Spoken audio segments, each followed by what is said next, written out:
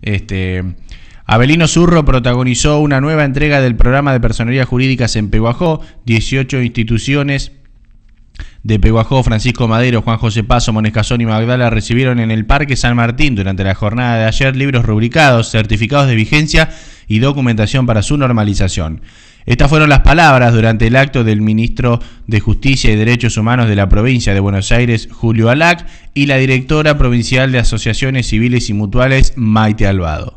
Una gran alegría poder estar acá en este Parque San Martín de Pehuajó, junto a Averino Zurro. Se va a implementar nuevamente este programa que tan exitosamente llevó adelante Pablo Zurro y el municipio, que es un modelo en la provincia de Buenos Aires, poder hacer nuestra personería jurídica, que fue una innovación a nivel provincial y que ha sido tomado como base para otras innovaciones legislativas.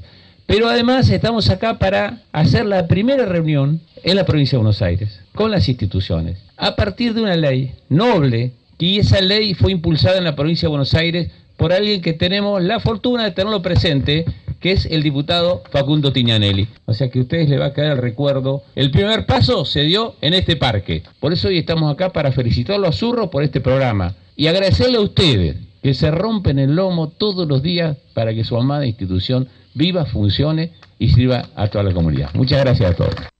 Muchísimas gracias por estar hoy acá a todas y a todos. Muchísimas gracias, Abelino, por tu predisposición, por darnos este espacio para la reunión. Realmente es un trabajo, les puedo decir, ejemplificador una gestión municipal articulada desde lo que fue eh, la banca legislativa de Avelino, donde puso el ojo y dijo hay que solucionar esto y realmente les puedo decir y les puedo asegurar que se nota la diferencia cuando una gestión municipal está al frente de las instituciones para solucionarle los problemas y cuando no. Y eso se ve, se ve no solo, como decía Avelino, por intentar recuperar esas instituciones. Son trámites complejos, los hemos intentado ir simplificando a partir de la ley 15.192, pero necesariamente tiene que haber un apoyo y un acompañamiento del Estado, municipal, provincial, seguramente nacional.